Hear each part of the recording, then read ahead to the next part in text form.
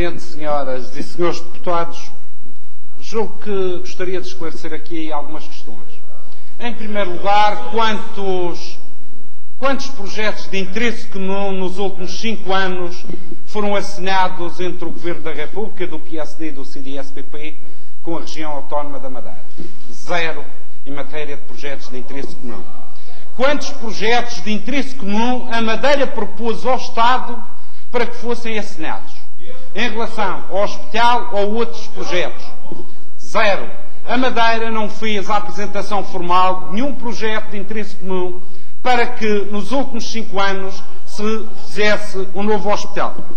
E uma vez que reiniciamos o processo com este governo e que está em estudo, há uma coisa que era bom que saísse deste debate, que é saber em que dia, quando, em que mês, em que ano é que o Governo Regional irá, perante a República, apresentar de forma formal uma proposta, projeto de interesse comum para a construção do novo hospital.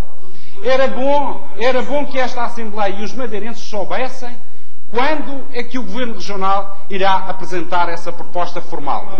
Porque podemos andar aqui eh, a debater estas questões, mas nós precisamos de uma calendarização e precisamos de uma data para saber objetivamente se durante os próximos anos vamos continuar a fazer debates e a discutir estas questões e a lógica que já começa a assistir do passa-culpas, mas queremos saber com certeza quando é que prevê o Governo Regional apresentar uma proposta de cofinanciamento ao Estado para a construção do novo hospital.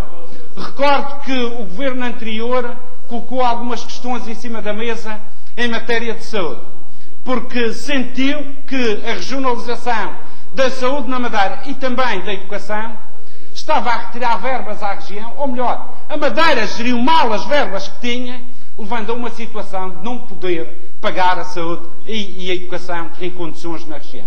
Eu gostava de saber da parte deste Governo, e uma vez que vamos também eh, analisar o Estatuto Político-Administrativo da região, o que é que pensa o PSD em relação a isto? À saúde e à educação, mas neste caso concreto à saúde, se é uma responsabilidade só da região ou se irão rasgar a regionalização do passado e passará também a ser uma responsabilidade do Estado.